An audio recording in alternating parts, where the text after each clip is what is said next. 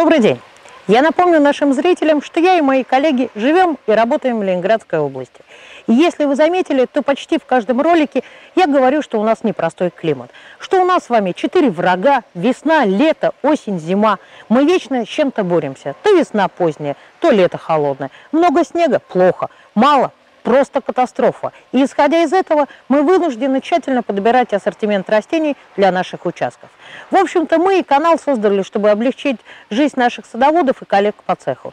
Но и в нашем климате бывают исключения. И я бы сказала, случаются чудеса.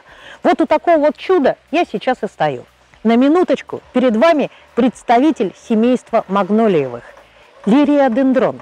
Тюльпановый или тюльпановое дерево настоящее. Почему чудо? Да потому что я всегда считала, что только жители южных регионов могут себе позволить это чудо у себя в садах. Сочи – да. Крым – конечно. Питер – да боже упаси. И вот, хотите верьте, хотите нет, но тюльпановому дереву совсем неплохо и у нас. Многие, конечно, скажут, что это исключение из правил, что на участке свой микроклимат, что, наверное, на зиму вокруг него строят целый замок, а весной пляшут с бубнами. Нет, это не так. Не могу сказать, что нами были высажены сотни десятков тысяч тюльпановых деревьев, но несколько десятков на нашем счету точно есть. И все они в разных концах нашей области. С разным уходом и достаточно в разных условиях. Но все они живы и, что немаловажно, здоровы. Итак, попрошу любить и жаловать тюльпановое дерево.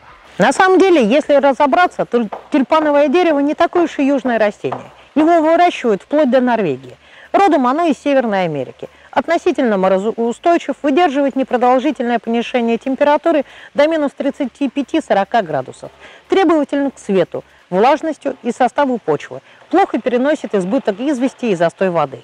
Ветроустойчив, долговечен, живет как минимум 500 лет. А что самое ценное и приятное, это то, что этот экзот крайне устойчив к болезням и вредителям.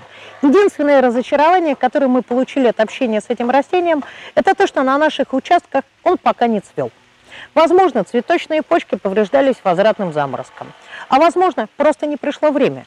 Ведь цвести это растение начинает достаточно поздно, только в десятилетнем возрасте.